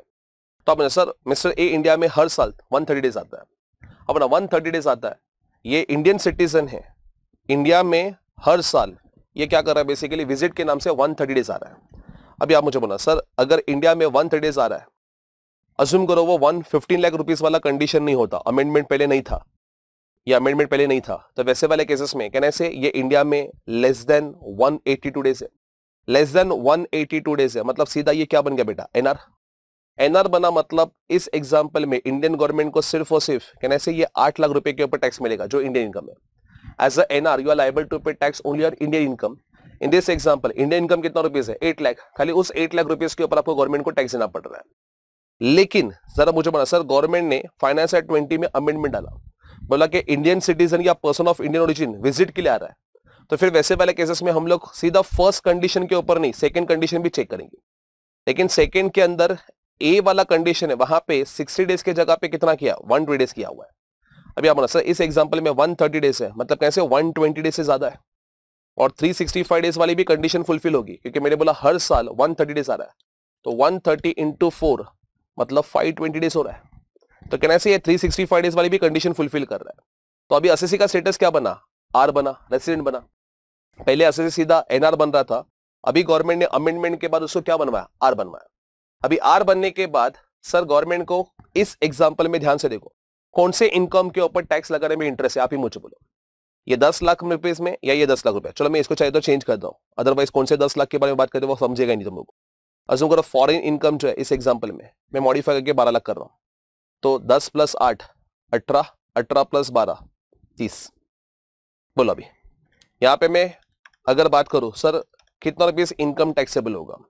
अभी आप मुझे बताइए, इस एग्ज़ाम्पल में गवर्नमेंट को कौन से इनकम के ऊपर टैक्स लगाने में ज़्यादा इंटरेस्ट है? ये बारह लाख के ऊपर टैक्स लगाने में इंटरेस्ट है दस लाख? ऑफिशियली गवर्नमेंट का टैक्स ये बारह लाख के ऊपर बनता ही नहीं है, क्योंकि वो इनकम फॉरन में है कंट्रोल मैनेजमेंट भी फॉरन में होता है। गवर्नमेंट को कौन से इनकम के ऊपर टैक्स लगाने में इंटरेस्ट है? फॉरेन इनकम जिसका कंट्रोल या मैनेजमेंट कहाँ से हो रहा है? इंडिया से हो रहा है। इस इनकम के ऊपर टेक्निकली स्पीकिंग गवर्नमेंट को टैक्स मिलना चाहिए बिकॉज़ कंट्रोल या मैनेजमेंट इंडिया से हो रहा है। लेकिन मिल नहीं रहा था, क्यों नहीं मिल रहा था? Because assessee stayed away less than 182 days रह के असेसी सीधा क्या बनता नॉन रेसिडेंट रहा था। इसके लिए गवर्नमेंट को अमेंडमेंट डालना पड़ा। अमेंडमेंट डाल के गवर्नमेंट ने बोला कि अगर 120 डेज़ है और पिछले चार साल में 365 डेज़ ज़्यादा है तो आपको क्या मान लिया जाएगा? रेसिडेंट अब देखो रेसिडेंट में ऑर्डिनरी रेसिडेंट गवर्नमेंट नहीं मानेगी, क्योंकि ऑर्डिनरी रेसिडेंट माना मतलब इस इनकम के ऊपर भी टैक्स आ जाएगा। इसके लिए गवर्नमेंट ने उसको क्या बोल दिया? सीधा आपको क्या डिक्लेयर किया जाएगा? आर बट एनओआर अभी मुझे बोला आर बट एनओआर के होने की वजह से कहना से ये इंडियन इनकम तो टैक्सेबल हो ही रही थी, लेकिन फॉरेन इनकम जिसका कंट्रोल मैनेजमेंट इंडिया में ये भी इनकम क्या हो जाएगी? टैक्सेबल हो जाएगी। मतलब अभी पोस्ट अमेंडमेंट कहने से गवर्नमेंट को ये 18 लाख रुपीस के ऊपर टैक्स मिलेगा, जो पहले सिर्फ़ और सिर्फ़ 8 लाख रुपीस के ऊपर मिलता था। इस इंटेंशन के वजह से गवर्नमेंट को क्या करना पड़ता अमेंडमेंट लाना पड़ता अच्छा सर गवर्नमेंट ने फिर ये सेक्शन क्यों इंट्रोड्यूस किया? सेक्शन सिक्स वन है डीम रेसिडेंट वाला। इसका भी लॉजिक समझो। अगर आप डीम रेसिडेंट हो, जैसे यस अगर कोई इंडियन सिटीजन है, ठीक है मिस्टर ए इंडियन सिटीजन ये कहाँ पे जाके बेटा है, सर? अजूम करो, दुबई में जाके बेटा है, जहाँ पे उसको टैक्स पे करने की ज़रूरत नहीं है। पर्सनल इनकम टैक्स है ही नहीं, ठीक है? सर, इसकी इंडियन इनकम जो है इंडियन इनकम अजूम करो Indian income eight lakh rupees है। फॉरेन इनकम जिसका कंट्रोल और मैनेजमेंट इंडिया में है, ऐसी वाली इनकम अजूम करो, सर नाइन लाख रुपीज़ है। And outside India foreign income की कंट्रोल मैनेजमेंट आउटसाइड इंडिया वाली इनकम अजूम करो टेन लाख रुपीज़ है। तो ऐसे मिलके आठ plus nine plus ten twenty seven lakh rupees की इनकम है। अभी आप इस एग्ज़ाम्पल में पहले तो इंडियन सिटीजन है। ये इंडिया में एक दिन भी नहीं आ रहा है। चलो आया तो दस दिन में आया। हार्डली टेन डेज़ इंडिया में आ रहा है। अभी टेन डेज़ इंडिया में आया। पहले इसकी इंडियन सोर्सेस से इनकम कितनी रुपीज़ आ रही है? सर इंडियन सोर्सेस इनकम मतलब इंडियन इनकम और फॉरेन में बिज़नेस है, लेकिन कंट्रोल मैनेजमेंट इंडिया से हो रहा है। उसको भी इंडियन सोर्सेस इनकम मानेंगे। एट प्लस नाइन मतलब मैं बोलू सेवनटीन लाख रुपीज़ इनकम है। सी इंडियन गवर्नमेंट को इस इनकम के ऊपर तो टैक्स मिलना ही वाला है, क्योंकि ये इंडियन इनकम है। गवर्नमेंट को मैंने जैसे बोला कि कौन से इनकम के ऊपर टैक्स लगाने में ज़्यादा इंटरेस्ट है, ये वाली इनकम जिसका कंट्रोल मैनेजमेंट कहाँ पे इंडिया में उस इनकम के ऊपर गवर्नमेंट को टैक्स नहीं मिल रहा है। क्यों नहीं मिल रहा है? Because assessee hardly ten days India में आ रहा है। अभी आप टेन डेज़ इंडिया में आ रहा है तो वैसे वाले केसेस में वो अमेंडमेंट वाला प्रोविज़न 120 डेज़ वाला भी तो एप्लीकेबल नहीं हो रहा है। अच्छा सर, आप किसी ऐसे कंट्री में होते जहाँ पे वो फॉरेन गवर्नमेंट को टैक्स पे कर रहे हो तो फिर इंडियन गवर्नमेंट को इतनी दिक्कत नहीं थी। गवर्नमेंट को ये टेंशन है, यार ना हम लोग इस नाइन लाख रुपीज़ के ऊपर टैक्स ले पा रहे क्योंकि आप इंडिया में आई नहीं रहे और आप उस फॉरेन कंट्री को भी टैक्स नहीं पे कर रहे हो मेजर टाइम वहाँ पे रह रहे हो, लेकिन उस फॉरेन कंट्री को भी टैक्स नहीं पे कर रहे हो। क्यों? क्योंकि उस गवर्नमेंट ने एग्जिबिशन देके रखा। तो इंडियन गवर्नमेंट फिर हम लोग इंडिया में आपको क्या मान लेंगे? डीम रेसिडेंट मान लेंगे। As per section six sub one A के हिसाब से। अभी डीम रेसिडेंट मानने की वजह से सबसे पहले तो आपको आर माना जाएगा। अभी आर बनने के बाद ओ आर नहीं मानेंगे बिकॉज़ ओ आर मान लिया तो ये दस लाख रुपया आउटसाइड इंडिया इनकम के ऊपर भी टैक्स आ जाएगा। सर, मान लेते ना, क्या जाता बेसिकली इंडियन गवर्नमेंट को इसके ऊपर भी टैक्स सकते अरे इंडियन गवर्नमेंट कौन होती है? ये आउटसाइड इंडिया दस लाख रुपए के ऊपर टैक्स लगाने वाली। तुम मुझे बोलो, दुबई गवर्नमेंट अपना रेवेन्यू सेक्रीफाइस करके, वहाँ के बिजनेसेस या वहाँ के लोगों को प्रमोट करने के लिए ये सब एग्जामेशन दे रहे इंडिया से मोदी जी इधर बैठ के वो फॉरेन इनकम दुबई वाले इनकम के ऊपर कैसे टैक्स लगा सकते इस रीजन के से गवर्नमेंट ने यहाँ पे बोल दिया कि हम लोग आपको क्या मानेंगे? आर एंड एनओआर मानेंगे। आपको आर ओ आर नहीं, आपको सीधा आर एन आर मानेंगे। इसके वजह से आपको क्या करना पड़ेगा? Indian income and foreign income जिसका कंट्रोल मैनेजमेंट इंडिया से हो रहा है, उसके ऊपर भी क्या करना पड़ेगा? टैक्स देना पड़ेगा। मतलब ये सेक्शन से पहले गवर्नमेंट को सिर्फ़ और सिर्फ़ कितने रुपए के ऊपर टैक्स मिलता था? एट लैक्स बट अभी ये सेक्शन इंट्रोड्यूस करने के वजह अभी गवर्नमेंट को कितने रुपए के ऊपर टैक्स मिल रहा है? सेवेंटी लैक्स उस इंटेंशन से गवर्नमेंट ने ये फाइनेंस एक्ट 2020 में दो नए अमेंडमेंट लाए थे। ठीक है? आई होप ये अमेंडमेंट आपको प्रैक्टिकली समझ में आ गए रहेंगे। ना कुछ क्वेश्चंस करते हैं। एग्जामिनेशन क्वेश्चन करते हैं। फॉर बेटर क्लैरिटी चलो। सबसे पहले miss Asha Indian citizen she is a lawyer by profession she started her consultancy profession in India in 2019 with the name of New Way Associate. In May 2021, she got married to Mr. Ram, American citizen. Mr. Ram come to India for the first time on 1st May 2020 when he joined MNC in India. He got a promotion and was transferred to Dubai. He left for Dubai on 1st October 2021. और जब भी आप number of days India में complete करोगे तो जिस दिन आप इंडिया में आए और जिस दिन आप इंडिया से जा रहे हो दोनों भी दिन क्या किए जाएँगे? इंडिया में अकाउंट किए जाएँगे। तो इस एग्ज़ाम्पल में इंडिया से बाहर जा रहा है फ़र्स्ट अक्टूबर 21 को। Mrs Asha accompanied him to Dubai मतलब आशा भी इंडिया छोड़ के फ़र्स्ट अक्टूबर 21 को जा रही है। She started providing consultancy there, that is in Dubai. Both of them came to India for three months from June to August 2022. सबसे पहले तो प्रीवियस ईयर 22 23 के नंबर ऑफ़ डेज़ निकालते हैं। तीन महीने इंडिया में थे, जून से लेके अगस्त। तो जून के तीस दिन, जुलाई के 31 अगस्त के 31 डेज़ जून 30 31 31 मतलब 92 डेज़ इंडिया में है। 92 डेज़ इंडिया में है। सबसे पहले तो इंडिया में विज़िट के नाम से आ रहे हैं। सर एक्सेप्शन किसको माना जाएगा? मिस आशा को अगर बात करो तो आशा केसेस में नॉर्मली इंडियन सिटीजन है। Indian citizen coming to India for the purpose of visit can ऐसे ये एक्सेप्शन कैटेगरी है? राम की अगर बात करो तो राम के केसेस में एक्सेप्शन एप्लीकेबल नहीं होगा बिकॉज़ राम अमेरिकन सिटीजन है। लेकिन आशा के केसेस में she is a Indian citizen तो वो एक्सेप्शन कैटेगरी में कवर हो सकती है। लेकिन एक्सेप्शन में वो अमेंडमेंट फाइनेंस है ट्वेंटी वाला। पहले देखना पड़ेगा कि आशा का इंडियन सोर्सेस इनकम कितना रुपीस है। तो देखते हैं, आशा की इनकम वाउच करते हैं। आशा के केसेस में income from Mrs Asha. Profit from consultancy profession in Dubai which was a setup in India मतलब सेटअप इन इंडिया है। मतलब ये इंडियन सोर्सेस से इनकम मिल रही है। फिर उसके बाद में profit from consultancy profession in India again ये भी इंडियन सोर्सेस से इनकम मिल रही है। Long term capital gain sale of shares of British company credit to her Dubai bank account ये इंडियन सोर्सेस इनकम नहीं है। Short term capital loss on sale of shares of an Indian company है। ये Indian sources है लेकिन loss है। और short term का लॉस सिर्फ़ और सिर्फ़ शॉर्ट टर्म और लॉन्ग टर्म के सामने सेट ऑफ़ होता है तो फॉर दैट अभी इसको इग्नोर करो। सो इंडियन सोर्सेस से इनकम कितने रुपीज़ है? एक्जैक्टली फिफ्टीन लाख रुपीज़ है। फिफ्टीन लाख रुपीज़ है मतलब कैसे? Up to fifteen lakh rupees है। अप टू 15 लैक्स है मतलब वो अमेंडमेंट फाइनेंस एक्ट 20 वाला एप्लीकेबल नहीं होगा। मतलब आशा के केसेस में वो 120 डेज़ और वो सब चेक करने की ज़रूरत नहीं है। तो आशा का स्टेटस क्या बनेगा बेसिकली या even section six subsection one है जो डीम रेसिडेंट वाला सेक्शन है वो भी आशा केसेस में एप्लीकेबल नहीं होगा, क्योंकि उनका इंडियन सोर्सेस का इनकम फिफ्टीन लैख से ज़्यादा नहीं तो आशा को स्टेट अवे क्या कंसिडर किया जाएगा? एनआर एनआर है तो आशा को कौन से इनकम के ऊपर टैक्स देना पड़ेगा? सिर्फ़ और सिर्फ़ Indian income not Indian sources income अभी इंडियन इनकम कितनी आशा की? इंडियन इनकम अगर बात करो तो ये दुबई में है, और रिसीव कहाँ पे बोला बोला नहीं है मतलब दुबई में रिसीव हुआ है। सेटअप इंडिया में है, लेकिन कंट्रोल मैनेजमेंट इंडिया से होने से मतलब नहीं है। रिसीव कहाँ पे हुआ है? वो भी फॉरन में हुआ है। तो ये इंडियन इनकम नहीं है। और इसके बाद में profit from consultancy profession in India हाँ ये इंडियन इनकम है।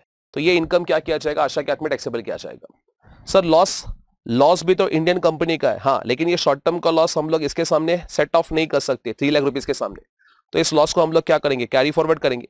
और थ्री लाख रुपीज़ की इनकम मिसेस आशा के हाथ में क्या किया जाएगा? टैक्सेबल किया जाएगा। ना राम की बात करते हैं। राम अमेरिकन सिटीजन है।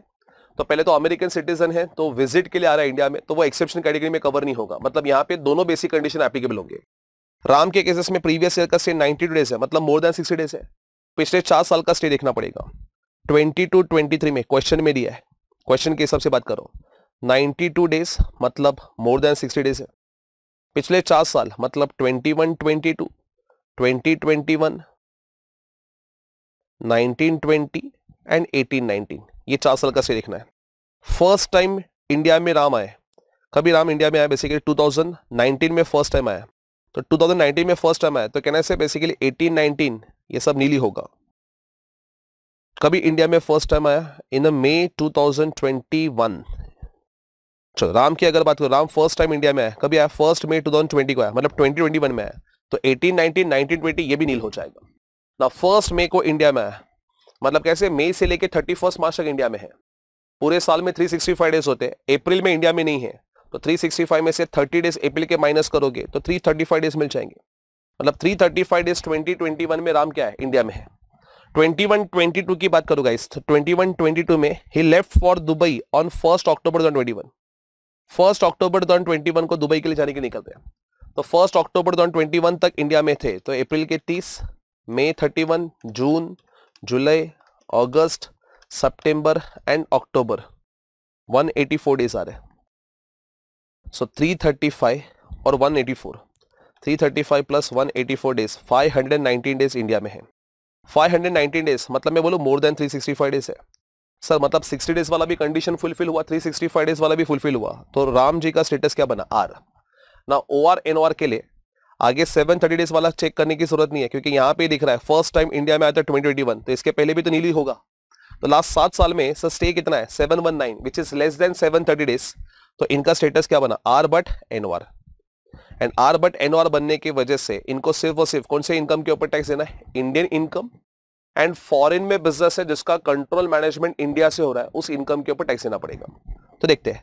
Salary from company in Dubai not liable to pay tax क्या इस इनकम के ऊपर इंडियन गवर्नमेंट को टैक्स देने की ज़रूरत है? नहीं sir long term capital sale of shares of Indian company ये इंडियन इनकम है. Income from hospital in Delhi ये इंडियन इनकम है. फिर dividend from shares of Indian company ये भी इंडियन इनकम है. So two fifty plus four sixty plus sixty five seven lakh seventy five thousand rupees Mr Ram के हाथ में क्या हो जाएगा? टैक्सेबल हो जाएगा.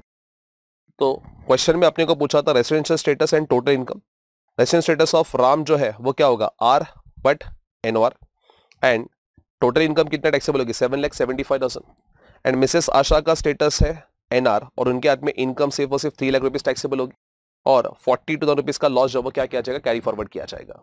ठीक है? चलो तो ये था एक question look at the next question guys Miss Rita वाला. Miss Rita Indian citizen and MBA from Harvard University Indian citizen है. हार्वर्ड यूनिवर्सिटी में एम बी ए किया। Employed in F of the country A since June 2016. Thousand she came to India on fifteen November 2023 thousand twenty three and join as a CEO of Autofit Limited Miss Rita was in India before she left for overseas education in May two thousand twelve May two thousand twelve के पहले वो India में थी and was subsequently employed outside India never visited India thereafter मतलब 2012 में पहले education के लिए गए, उसके बाद में वहाँ पे जॉब लगा, उसके बाद में वो इंडिया में आई नहीं है। आगे there is no income tax in country A वो ऐसे कंट्री में जहाँ पे टैक्स ही नहीं अभी देखो, देख के इमीडिएटली भागना मत। Section six subsection one S deem resident deem resident होने के लिए पहले इंडियन सिटीजन होना चाहिए। सर आंसर इज़ है। आप ऐसे कंट्री में सिचुएट होने चाहिए जहाँ पे टैक्स नहीं है। वो भी कंडीशन है। लेकिन इंडियन सोर्सेस का इनकम भी तो देखना पड़ेगा। इंडियन सोर्सेस का इनकम अगर मोर देन 15 लैक्स है तो ही वो अमेंडमेंट एप्लीकेबल होगा। तो देखते हैं इंडियन सोर्स का income she has earn interest income two lakh forty thousand net in country A country A मतलब ये इंडियन सोर्स का इनकम नहीं है.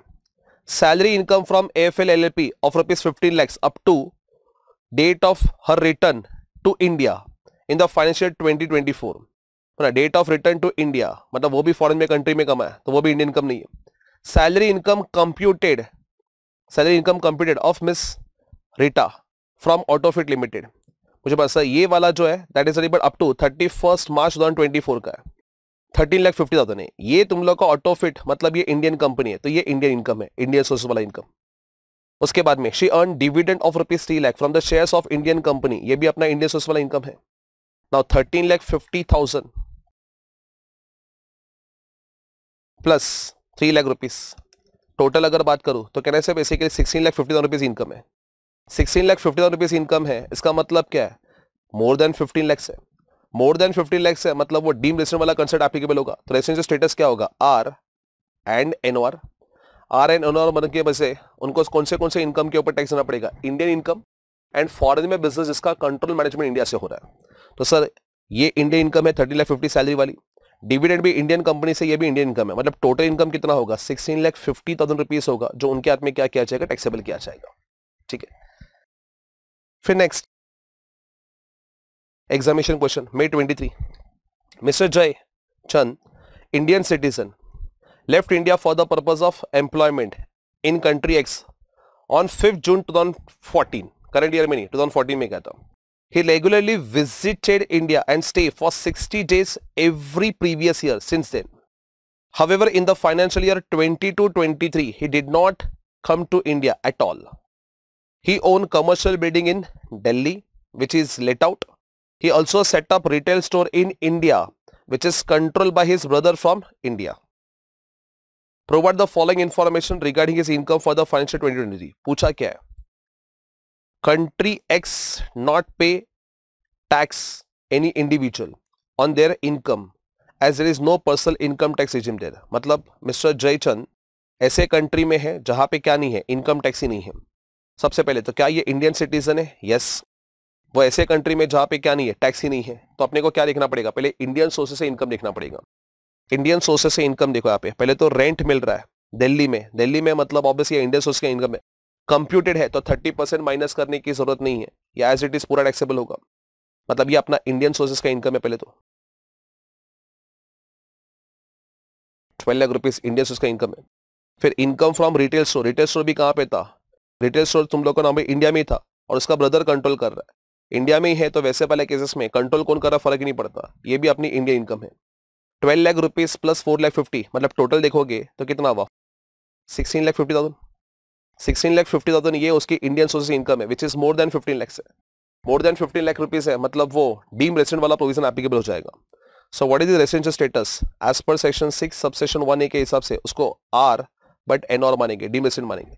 और उसके हाथ में ये पूरी सिक्सटीन लाख फिफ्टी रुपीज़ की इनकम क्या की जाएगी? टैक्सेबल की जाएगी। Will answer change if is a citizen of country X मुझे अगर वो सिटीजन ऑफ़ कंट्री एक्स होता मतलब इंडियन सिटीजन नहीं होता तो डीम रेसिडेंट वाला प्रोविज़न एप्लीकेबल नहीं होता तो डेफिनेटली अपना आंसर चेंज हो जाएगा यहाँ पे। आंसर चेंज होगा answer is yes because section six subsection one A deem resident वाला प्रोविज़न जो है, वो सिर्फ़ और सिर्फ़ इंडियन सिटीजन जो इंडिया में आ रहा है, या इंडिया में बेसिकली नहीं आ रहा है, उसके लिए बेसिकली ये प्रोविज़न एप्लीकेबल था। अगर आप फॉरेन कंट्री के सिटीजन हो, और वहाँ पे बेसिकली टैक्स नहीं है, और इंडियन सोर्स से इनकम 15 लाख रुपीज़ से ज़्यादा है, फ़र्क नहीं पड़ता। उसके ऊपर तुम लोग को नॉर्मली बोलते वो amendment section six section one वाला एप्लीकेबल नहीं होगा। फिर नेक्स्ट वाला May 23 Mr Prashant age 35 years is an Australian citizen who is settled in Australia and visit India for 125 days in every financial year. Australian citizen है Indian citizen नहीं है पहले तो। लास्ट 11 इयर्स हर साल 125 डेज़ इंडिया में visit कर रहा है। During 20 to 23 he visited India for a total period of 200 days the purpose of his visit was to meet his family members who settle in India and also managing the business in Sri Lanka through his office इन चेन्नई ना business Sri Lanka में है, लेकिन office Chennai में मतलब control management India से हो रहा है। During previous year 20 to 23 following income earn की है। पहले पूछा क्या है? Find out the residential status of Mr Prashant मुझे बता क्या ये एक्सेप्शन कैटेगरी में होगा? आंसर इज़ नो ये इंडियन सिटीजन ही ऑस्ट्रेलियन सिटीजन है। तो यहाँ पे तुम लोग का वो विज़िट के लिए आ रहा है, फिर भी वो एक्सेप्शन कैटेगरी में कवर नहीं होगा। इंडिया में उसका स्टे प्रीवियस ईयर 20 टू 23 में 200 डेज़ है मतलब मोर देन 180 डेज़ है। मोर देन 180 डेज़ है मतलब वो क्या बना? आर अभी ओ आर एनओ आर के लिए पिछले सात साल चेक करने पड़ेंगे। हर साल वो 125 डेज़ इंडिया में आ रहा है। तो पिछले सात साल में 125 ट्वेंटी इंटू सेवन करोगे, कितना आएगा? 875 डेज़ आ रहा। सेवन ईयर्स में उसका स्टे जो है वो 875 डेज़ आएगा विच इज़ कहने से more than seven thirty days है। और वो दो साल मिनिमम रेसिडेंट होना चाहिए। तो वो 60 डेज़ वाली कंडीशन और 365 डेज़ वाली भी कंडीशन देखो ना 125 मल्टीप्लाई बाय फोर करोगे मतलब 500 डेज़ है मतलब 365 डेज़ भी वो फुलफिल कर रहा है। तो हर साल का स्टे उसका 60 डेज़ से भी ज़्यादा है, और पिछले चार साल का स्टे जो है वो 365 डेज़ से भी ज़्यादा है। मतलब इन शॉर्ट वो एडिशनल कंडीशन भी फुलफिल कर रहा है। तो इनका स्टेटस क्या बनेगा मिस्टर प्रशांत का? R and O R and as R O R you are liable to pay tax on global income that is Indian income as well as foreign income so income from business in Australia control from Australia फ़र्क नहीं पड़ता taxable होगा। Income from business in Sri Lanka control from Chennai taxable short term capital gain of sale of shares of Indian company taxable income from agriculture land in Australia receive there and then brought to India मतलब sir income from agriculture land in Australia मतलब foreign में agriculture income किया है तो ये भी क्या क्या चाहिए टैक्सेबल क्या चाहिए? So twenty lakhs plus sixteen lakhs plus two lakh rupees plus fifty thousand rupees total thirty eight lakh rupees fifty thousand ये इनकम टैक्सेबल की जाएगी। रेसिडेंशियल स्टेटस क्या होगा? R and O R R and O R है तो total income आपके हाथ में टैक्सेबल की जाएगी global income that is Indian income as well as foreign income तो thirty eight lakh fifty thousand rupees की इनकम आपके हाथ में क्या की जाएगी टैक्सेबल की जाएगी। ठीक है?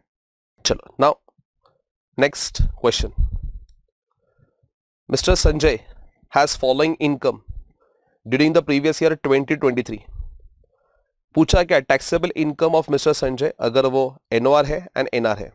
मतलब एनओआर एंड एनआर। पहले तो एनओआर को कौन से इनकम के ऊपर टैक्स देना है? इंडियन इनकम इंडियन इनकम के ऊपर तो ऑब्वियसली एनओआर एनओआर दोनों को भी टैक्सेबल देना है। बट इंडियन इनकम जिसका बिज़नेस फॉरन में है, लेकिन कंट्रोल मैनेजमेंट इंडिया से हो रहा है तो उस इनकम के ऊपर भी एनओआर को इंडिया में क्या करना पड़ेगा? टैक्स देना पड़ेगा। देखते पहले इनकम क्या करिए interest on England development bonds मतलब इंग्लैंड डेवलपमेंट बॉन्ड्स मतलब फॉरन में है। One third receive in India है। तो one third receive in India मतलब वो इंडियन इनकम होगी तो वो टैक्सेबल होगी। सिक्सटी का वन थर्ड कितना आएगा? ट्वेंटी तो ट्वेंटी थाउज़ेंड एनओआर के भी हाथ में टैक्सेबल होगा एनआर के हाथ में भी टैक्सेबल होगा। Second interest receive from NR five thousand against a loan given to him run business in India मतलब सर, ये पहले तो नॉर्मली बिज़नेस इन इंडिया है तो एक्टिविटी कहाँ पे हो रही है? इंडिया में हो रही है। तो वैसे वाले केसेस में जो इंटरेस्ट मिला है इंटरेस्ट किसके पास से मिला? बेसिकली नॉन रेसिडेंट तो मतलब सर, आपने नॉन रेसिडेंट को लोन दिया था लोन दिया था, उसने वो लोन कहाँ पे यूज़ किया? बिज़नेस इन इंडिया के लिए यूज़ किया है। तो याद करो सेक्शन नाइन के हिसाब से ये deem to accrue arise in India है। तो अगेन ये भी इनकम क्या की जाएगी? टैक्सेबल की जाएगी। Five thousand rupees Indian income है। तो दोनों के हाथ में टैक्सेबल होगा। Third royalty receive from Akhil resident for the technical services. For the technical services given to run business outside India. मतलब रेसिडेंट ने पैसा यूज़ किया है, लेकिन कहाँ पे यूज़ किया है? For the business outside India के लिए यूज़ किया है. तो हमने ऐसे वाले केसेस में आप मुझे सर बिज़नेस आउटसाइड इंडिया के लिए यूज़ किया है तो वैसे वाले केसेस में वो क्या नहीं होगा? टैक्सेबल नहीं होगा. इंडियन इनकम है ही नहीं तो वो टैक्सेबल नहीं होगा। Income from business in Sri Lanka twenty five thousand out of each fifty thousand fifteen thousand receive in India तो fifteen thousand receive in India वो इंडियन इनकम है। Fifteen thousand receive in India वो Indian income है। पच्चीस में से fifteen thousand गया, बचा कितना? टेन थाउज़ेंड अच्छा रिमेनिंग टेन थाउज़ेंड के बारे में बिज़नेस जो है, वो कंट्रोल कहाँ से हो रहा है? इंडिया से हो रहा है। तो सर कंट्रोल इंडिया से हो रहा है तो ऑब्वियसली वो उस इनकम के ऊपर एनआर को टैक्स देना पड़ेगा। सो टेन थाउज़ेंड जो कंट्रोल फ्रॉम इंडिया है तो वो एनआर के हाथ में टैक्सेबल होगी लेकिन एनआर के हाथ में नहीं होगी बिकॉज़ वो इंडिया इनकम नहीं है। तो ऐसे अगर आप टोटल करोगे तो एनआर के हाथ में टैक्सेबल कितना होगा? Twenty plus five plus fifteen plus ten that is fifty thousand taxable होगा। एंड एनआर के हाथ में अगर बात करो तो twenty plus five plus fifteen that is forty thousand rupees income NR के हाथ में टैक्सेबल होगा। सो so, अगर मिस्टर संजय एनओआर है तो उसको फिफ्टी रुपीज़ इनकम टैक्सेबल होगी और अगर एनआर है तो फोर्टी रुपीज़ इनकम टैक्सेबल होगी। ये था अपना नवंबर 23 चार मार्क के लिए क्वेश्चन था। मैं लास्ट क्वेश्चन नवंबर 23 में ही खाली यस नो में जवाब देना है। Whether the following transaction can be treated as income deemed to accrue arise in India or. जैसे higher charges paid outside India for the use of machinery situated in India है। मतलब machinery situated in India है। तो वो क्या होगा basically Indian income है। Income deem to be accrue in India yes फिर income of non resident and a non citizen of India from the shooting of cinematography film in India मतलब sir इसका business connection हम लोग India नहीं में नहीं आते एन है और इंडिया का सिटीजन भी नहीं है। मतलब एन भी है एंड इंडिया का सिटीजन भी नहीं है। सिर्फ़ इंडिया में शूटिंग किया है। तो क्या उसका बिज़नेस कनेक्शन इंडिया में माना जाएगा? आंसर इज़ नो तो इसको हम लोग इंडिया का कोई भी इनकम नहीं मानेंगे। Capital gain arising through the transfer of house property situated in India house property in India है तो ऑब्वियसली ये इनकम इन इंडिया माना जाएगा। तो इसके में allowances paid by government to a citizen of India याद करो गवर्नमेंट जो है गवर्नमेंट अगर इंडियन सिटीजन को पोस्टेड आउटसाइड इंडिया है, उसके लिए कुछ भी अगर सैलरी पे करती है तो वो टैक्सेबल है। अलावेंसेस या पर्क्स पे करती है तो वो एग्जाम्प्ट है। तो सबसे पहले तो ये इंडियन इनकम है या नहीं है? अक्रू इन इंडिया है या नहीं है? है। लेकिन वो उसके हाथ में क्या होगा? एग्जाम्प्ट होगा under section ten clause seven के हिसाब से पास पीरियड में कोई फॉरेन अनटैक्स इनकम है जो इंडिया में लेके आया तो इसको हम लोग इंडियन इनकम नहीं मानते बिकॉज़ अक्रूवल बेसिस के ऊपर ऑलरेडी फॉरेन गवर्नमेंट को उसके ऊपर क्या किया रहेगा? टैक्स पे किया रहेगा। तो पास्ट पीरियड में foreign untaxed income brought to India during the previous year इसको हम लोग इंडियन इनकम नहीं मानेंगे। No no. फिर इसके बाद में gift receive by non resident on the occasion of his wedding in India मतलब वेडिंग इन इंडिया शादी के टाइम पे जो भी गिफ्ट मिलते हैं वो उनके हाथ में क्या होते हैं? एग्ज़ाम होते हैं। तो वैसे वाले केसेस में जरा मुझे माना sir gift receive by non resident on the occasion of his wedding in India India में शादी हुई है भले लेकिन अगर शादी के टाइम पे जो गिफ्ट मिले वो क्या होंगे? एग्जिम्ट होंगे। इनकम फ्रॉम अदर्स याद करो। Marriage contemplation of death relative के पास से अगर कुछ भी गिफ्ट मिला तो वो क्या होता है? बेसिकली एग्जिम्ट होता है। सो so, ये थे अपने revision of residential status and scope of income guys ये टॉपिक आपको अच्छे से करके जाना है। छोटा टॉपिक है, लेकिन एग्ज़ाम पॉइंट ऑफ़ व्यू अगर बात करो तो ये तुम लोग का फोर टू सिक्स मार्क का वेटेज कवर करेगा एग्ज़ाम में। That's it from my side guys किसी और रिविजन सेशन में मिलते हैं, किसी और टॉपिक के साथ। Thank you guys study well